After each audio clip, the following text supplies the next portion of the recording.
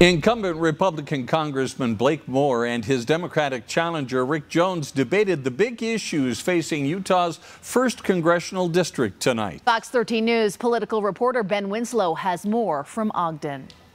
At Weber State University, I'm running to advance American ideals focusing on being an effective conservative. Incumbent Republican Congressman Blake Moore debated his Democratic challenger, Rick Jones. They covered topics like inflation and the high cost of living. We have a lot more inequality, and uh, what is happening now is that interest charges for the vast majority are growing much, much faster than the growth in their real wages. If you're going to make inflation the topic, we have to get to the point where we are not spending so much and trying to solve every problem at the federal level. Abortion. Protecting life. And I won't apologize for it. And the other case is making sure that women have the resources they need when they're in a difficult situation. Abortion, in certain circumstances, can be a real health care issue for women. On the subject of Ukraine, Congressman Moore had a warning. Ukrainians, here's the, the reality is, is they're, they're winning. They're beating Putin right now, and he's cornered, and he is going to potentially get more erratic. We need to make sure that we stay on the plan.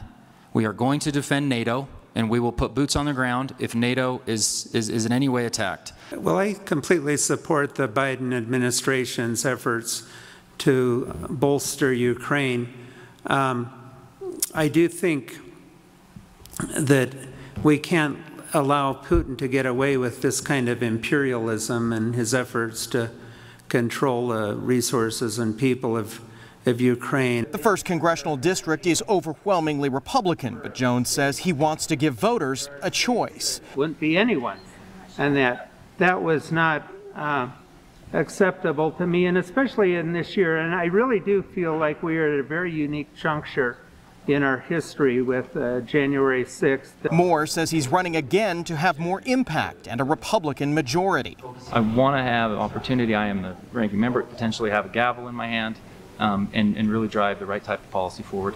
On Wednesday, candidates for the 4th Congressional District will debate. You can see the information on your screen there. Starting next week, mail-in ballots go out. Election Day is November 8th.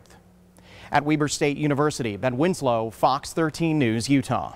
Meantime, a new poll has just been released showing a close race for U.S. Senate. Take a look here. The latest survey by the Deseret News and Hinckley Institute of Politics finds incumbent Republican Senator Mike Lee in the lead with 41% of the vote. 37% of those polled say they would vote for unaffiliated candidate Evan McMullin. Third party candidates edged up slightly, but 12% remain undecided. And that's a group that can make or break it for either leading candidate.